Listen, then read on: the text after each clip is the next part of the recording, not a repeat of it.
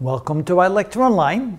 If you looked at the previous video, we figured out how much we had to heat the steel ring in order to fit it over the brass shaft because the diameter of the brass shaft was greater than the inner diameter of the steel, so we had to expand the steel to fit it over. Then once things cool down, let's say things cool back down to 20 degrees centigrade, then that brass, that steel ring will very tightly fit around the brass. We call that heat fitting. Now the only way to remove that steel ring would be to cool both of them down.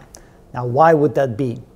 Well, notice that the linear coefficient for brass is much larger than the linear coefficient for steel. In other words, when we cool both of them down, the brass diameter will shrink faster than the inner diameter of the steel ring. So if we cool both of them enough, then the brass shaft will have shrunk to the point where the steel ring will be able to come off. Now, we're supposed to find the temperature at which that will happen. To do that, we have to realize that the brass, the diameter of the brass shaft has to shrink more than the inner diameter of the steel ring. How much more? Well, the difference between these two.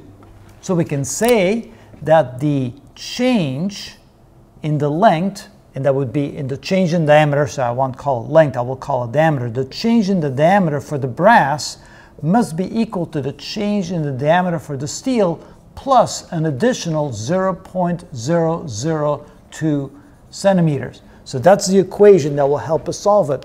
Notice that the brass, the diameter of the brass shaft has to shrink more than the inner diameter of the steel. How much more? 0.002 centimeters more.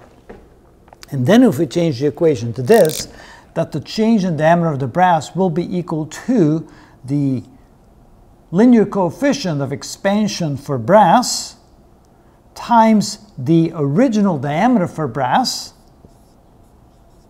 times the change in the temperature that will be equal to the linear coefficient of expansion for steel times the original diameter for steel times the change in the temperature and of course, that delta T will be the same because the ring is fitted over the brass plus the additional 0.002 centimeter.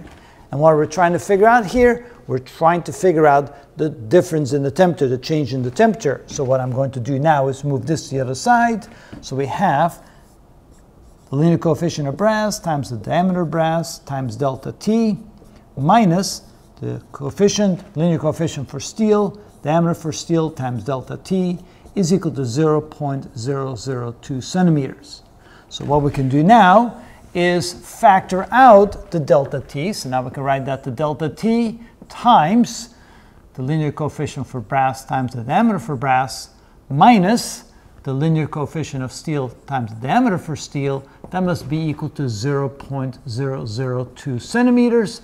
And finally, we can say that the difference in the temperature is equal to 0.002 centimeters divided by the coefficient for brass times the diameter for brass minus the coefficient for steel times the diameter for steel.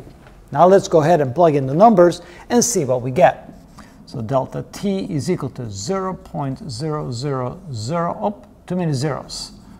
Make that a 2.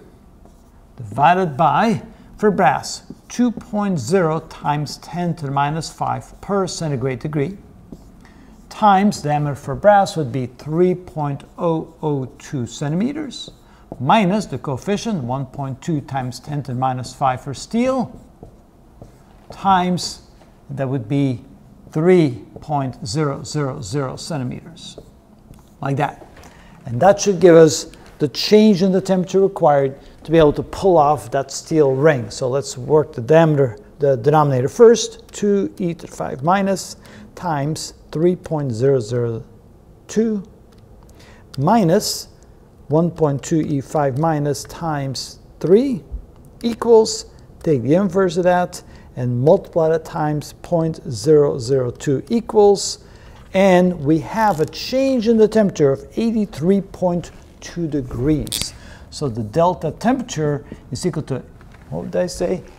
83.2 degrees, 83.2 centigrade degrees. So that's the change in the temperature. Notice that we started at an initial temperature of 20 degrees centigrade because that's the temperature at which these diameters were correct for the ring and the shaft. So then we can say that T final is equal to T initial minus, because it's a decrease in temperature, we're cooling both of them down, so minus the delta T.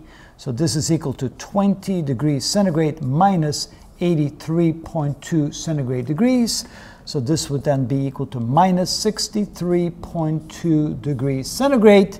T final, that's rather cold. So you can see that if this was done through heat fitting, you would not be able to remove that ring until temperature dropped below this. And there's not a lot of places in the world where temperature gets to be this low, so that ring is pretty well on there for good until you finally cool it down to that temperature.